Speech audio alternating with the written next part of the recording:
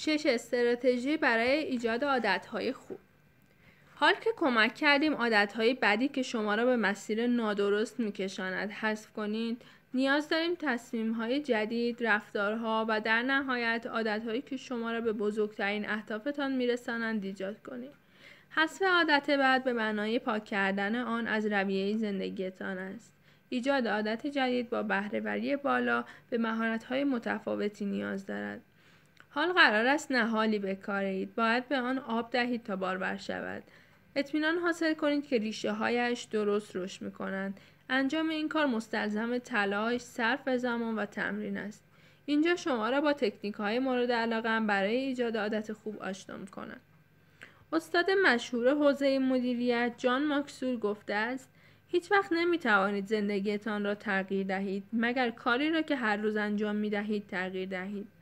راز موفقیت در کارهای روزمره شما نهفته است. بنابر تحقیقات حدود 300 بار باید یک رفتار, یک رفتار را تکرار و تقویت کنید تا بتوانید آن عادت جدید را در ناخودآگاهتان جای دهید.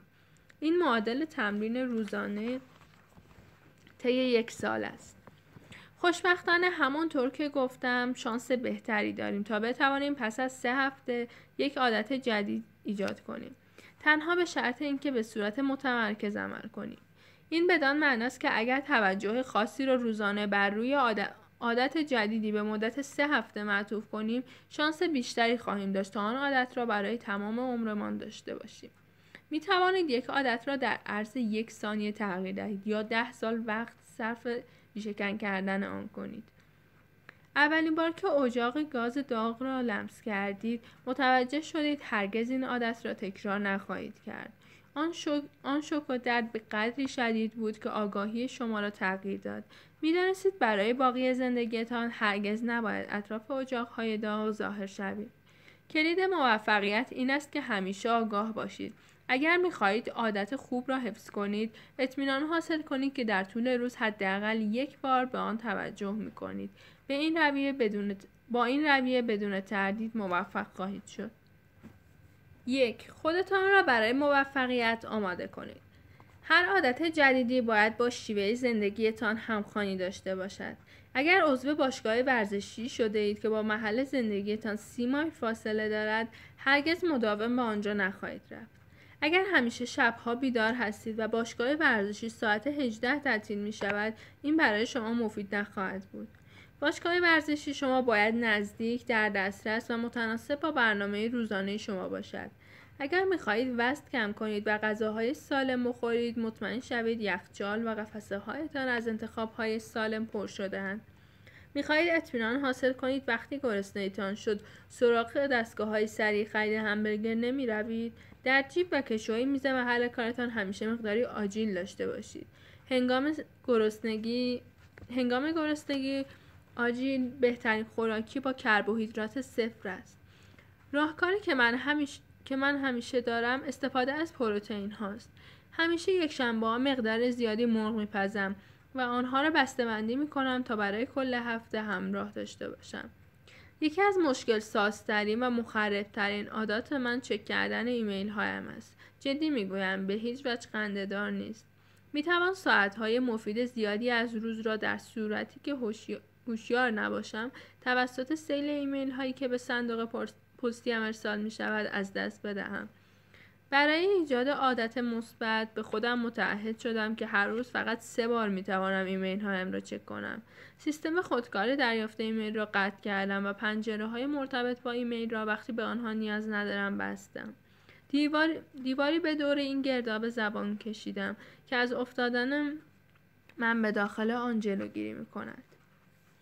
دو به اضافه کردن فکر کنید نه کم کردن.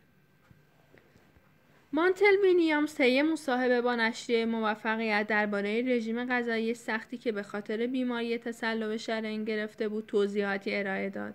مانتل روشی را در پیش گرفته بود که روش اضافه کردن نام دارد. فکر می کنم می تواند ابزار بسیار موثر برای هر شخص هدفمند باشد. او برایم توضیح داد که خوراکی های زیادی وجود ندارد که تلاش کنید از رژیم غذاییتان حذف کنید خوراکی هایی که به آن اضافه می کنید مهم است. این موضوع معیاری بزرگ در زندگی من ایجاد کرد او به جای آنکه فکر کند باید خودش را از چه چیزهایی محروم کند یا چه چیزهایی را از برنامه غذایش حذف کند به عنوان مثال دیگر نمی‌توانم همبرگر شکلات یا لبنیات بخورم. به این فکر کرد که به جای آن چه, میتو... چه می‌تواند بخورد. به عنوان نمونه امروز می‌خواهم سالاد سبزیجات بخارپز و انجیر و انجیر تازه بخورم. او تمرکز و شکمش را با آنچه می‌توانست بخورد پر کرد. برای همین هیچ وقت دچار توجه بیش از حد و تمایل شدید برای خوردن چیزهایی که نمی‌توانست بخورد نمی‌شد. به جای متمرکز شدن بر روی خوردنی هایی که باید از آنها امتناع می کرد بر روی خوردنی های اضافی که می توانست بخورد تمرکز می کرد. نتیجه بسیار عالی بود. یکی از دوستانم قصد داشت عادت تماشای بیش از حد تلویزیون را ترک کند. برای کمک به او پرسیدم اگر روزانه سه ساعت وقت آزاد بیشتر داشتی چه می کردی؟ او گفت با فرزندانم بیشتر بازی می کردم. به او گفتم سرگرمی که همیشه به دنبال انجام بوده ای چیست؟ انتخاب او عکاسی بود. او به همراه یک متخصص برای خرید تجهیزات عکاسی و تدوین اقدام کرد. حال می توانست از فرزندانش عکس های عالی بگیرد. او شبها بیشتر وقتش را صرف تدوین عکس ها و درست کردن آلبوم ها می کرد تا بتواند در کنار خانوادهش از دیدن آنها لذت ببرد. این منجر به نشاط او و خانواده شد و از اینکه چقدر می توانند به همراه هم خوش بگذرانند خوشحال بود. چون بر روی عکاسی و فرزندانش متمرکز شده بود دیگر زمانی برای تماشای تلویزیون نداشت. او احساس می‌کرد به کلی علاقش را به تماشای تلویزیون از دست داده است. عادتهای جایگزین باعث می‌شد به راحتی بتواند از فشار ذهنی ناشی از کار فرار کند. با جایگزین کردن عادت, عادت جدید عکاسی و بازی با فرزندانش تمایل شدید درونیش را کشف کرد که نتایج بزرگ و ارزشمندتری به دنبال داشت شما می توانید چه چیزی به زندگیتان اضافه کنید تا بتوانید تجارب زندگیتان را غنیتر سازید 3. به دنبال مسئولیت پذیری در جمع باشید یک مقام دولتی را که در مقابل مردم برای انجام کارهای سوگند می‌خورد تصور کنید من در اینجا در مقابل شما این وعده را می‌دهم که سپس شروع به سخنرانی برای کمپین خود می کند و قول می دهد تمام وعده های خود را عملی سازد. وقتی این کار را می کند دیگر می داند که بابت هر عملی که انجام می دهد مسئول است و باید بر روی قولهایش بیستد و از هیچ تلاشی برای رسیدن به وعده ها و اهدافش دریغ نکند. آیا می خواهید عادت جدید ایجاد کنید؟ از برادر بزرگتر یا دوستتان بخواهید شاهد شما باشد اکنون دیگر با شبکه های اجتماعی حاضر این کار خیلی آسان شده است. من در مورد خانومی شنیدم که تصمیم گرفت کنترل تمام مسائل مالیش را به دست بگیرد.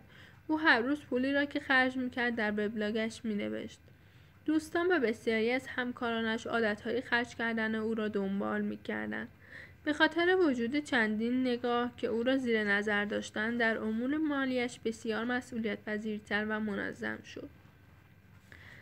یک بار به یکی از همکاران سابقم کمک کردم سیگار کشیدن را ترک کند برای این کار به همه گفتم گوش کنید زلدا تصمیم گرفته سیگار را ترک کند. به نظرتان عالی نیست؟ همانجا بود که او آخرین نخ سیگار را کشید. یک تقویم خیلی بزرگ بیرون اتاقش نصب کردم. هر روز که زلدا سیگار نمی‌کشید یک زبدر بزرگ قرمز بر روی تقویم می زدم. کم کم توجه همکاران جلب شد و شروع به تشویق او کردند. معجزه این زبدرهای قرمز خیلی زود در زندگیش شکوفا شد. توانست کنترل زندگیش را به دست بگیرد. زلدا دوست نداشت هرگز خودش آن تقویم همکاران و خانوادهش را ناامید کند ولی توانست سیگار را ناامید کند. به خانواده و دوستانتان بگویید و در وبلاگ خود اعلام کنید. آن وقت احساس مسئولیت مسئولیتتان بیشتر می شود چهار. یک شریک برای موفقیت پیدا کنید. چند نکته در خصوص دو فردی که بازو به بازو برای رسیدن به یک هدف تلاش می کنند وجود دارد. برای بالا بردن شانس موفقیتتان همراه پیدا کنید. کسی که شما را بابت ایجاد عادتهای جدیدتان متعهد نگه دارد و شما هم همین لطف را در مقابل برایش انجام دهید. به عنوان مثال من کسی را دارم که به او همکار رسیدن به موفقیت می‌گویم. هر جمعه رأس ساعت 11 صبح یک تماس نیم ساعته داریم که طی آن در خصوص موفقیت ها، شکست ها، پیروزی ها و کارهای مهممان حرف می‌زنیم. از یکدیگر بازخورد می‌گیریم و دیگری را تشویق مسئولیت پذیری می‌کنیم. می توانید چنین شخصی را برای ورزش، قدم زدن، صحبت در مورد کتاب های توسعه شخصی، دویدن یا هر کار دیگری پیدا کنید. 5. رقابت و رفاقت هیچ چیز بهتر از داشتن مسابقه دوستانه که در آن بتوانید حس رقابتتان را تحریک کنید و با جرقه عادت جدیدی به دست آورید نمی‌تواند موثر باشد. دکتر محمد از در مصاحبهای به من گفت اگر مردم در روز فقط هزار قدم بیشتر پیاده روی می‌کردند می‌توانستند زندگیشان را تغییر دهند. ویدیو پلاس شرکت ویدیو پلاس شرکت مادر نشریه موفقیت مسابقه راه رفتن برگزار کرد که در آن از قدم سنج متصل به کفش استفاده می شد تا قدم ها را بشمارد. کارمندان به تیم های مختلف تقسیم شدند و بر سر اینکه کدام تیم بیشتر از همه پیاده روی می کرد مسابقه برگزار شد. برایم جالب بود جالب بود اشخاصی که برای سلامتی خود ورزش نمی کردن ناگهان شروع به پیاده روی از چهار تا پنج و حتی شش مایل در روز شدند.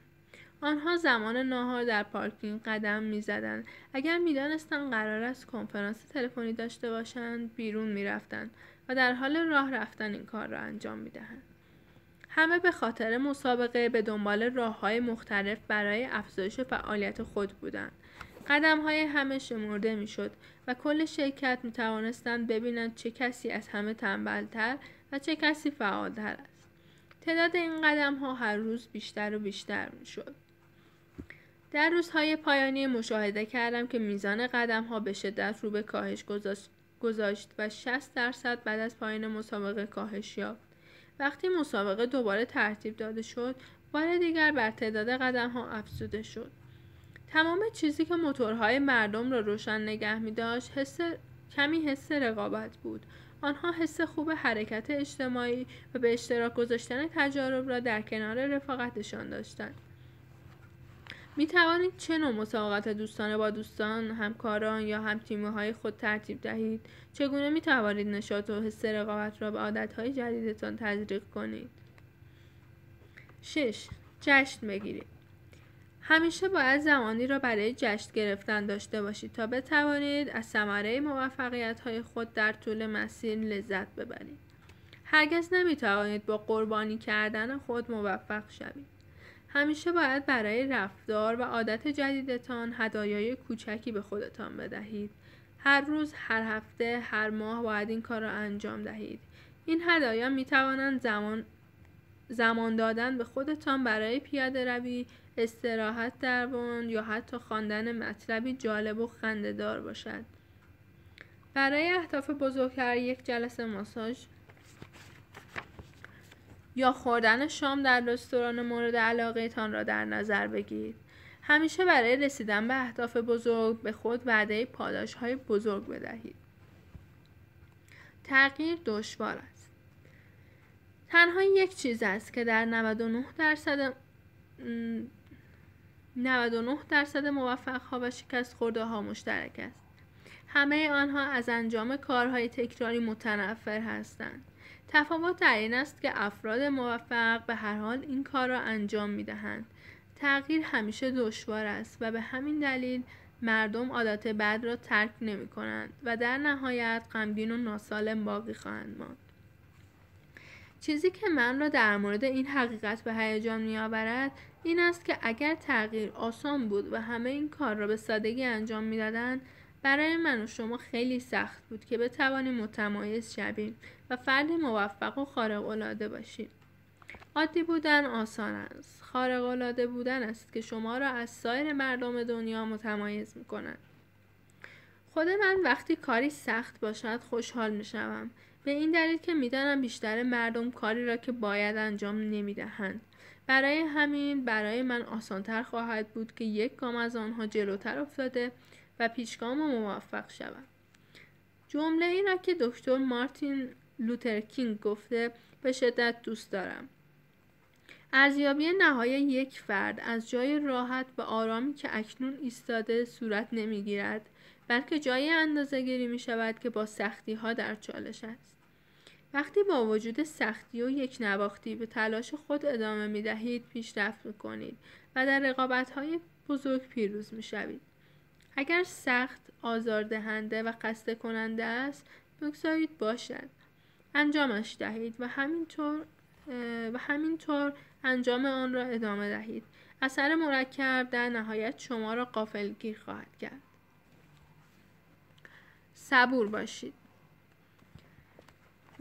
وقتی زمان وقتی زمان ریشهکن کردن عادتهای بد و جایگزین کردن آنها با عادتهای جدید فرا می‌رسد به یاد داشته باشید با خودتان صبورانه رفتار کنید. اگر 20 سی چهل سال یا بیشتر را با تکرار عاداتی که امروز دارید گذرانده اید و می‌خواهید آنها را تغییر دهید باید توقع داشته باشید که این فرایند زمان و نیازمند تلاش زیاد است. پیش از آن که بتوانید نتایج آن را مشاهده کنید نیاز... نیازمند تلاش زیاد است. پیش از آن که بتوانید نتایج آن را مشاهده کنید.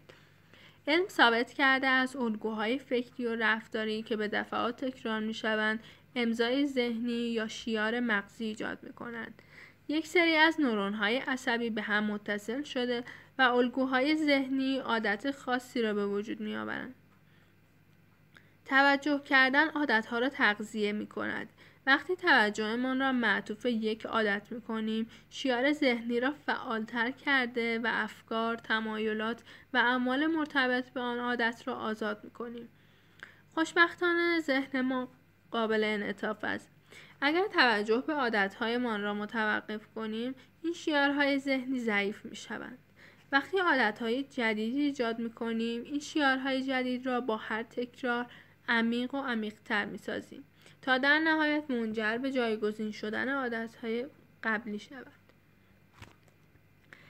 ایجاد عادتهای جدید و شیارهای جدید در ذهن نیازمند زمان است با خودتان صبورانه رفتار کنید اگر از واگن به بیرون پرت شدید دوباره سوار شوید مشکلی نیست همه ما دچار اشتباه می شویم فقط کافی است دوباره دست به کار شوید و استراتژی دیگری را امتحان کنید تعهد و ثابت قدمی خود را تقویت کنید. اگر پیگیر باشید نتایج بزرگی به دست خواهید آورد. در, در فصل بعدی به نتایج خواهیم پرداخت. جایی که تاثیرات مرکب شکل خواهند گرفت. با استمرار بر اصولی که از فصل اول آموخته اید این چیزی است که پاداش خواهید گرفت. پاداشی بزرگ. این فیلم برای صفحه نویدداریا تهیه شده است.